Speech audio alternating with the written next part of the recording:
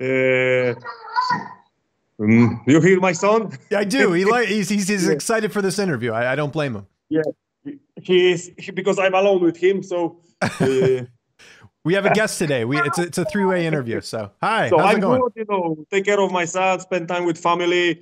I have small uh, surgery on my elbow, so I need to you know focus about my elbow about about this. Uh, two two more weeks off, and after two weeks, I can come back to the gym and, and train, do everything like before, like before uh, uh, surgery. I will turn off the cartoon for him, and I will come back. Okay? Yeah, yeah, sure. Go for it. Yeah, do whatever you got to do. It's okay. Sorry. That's okay. Poczekaj, Radu.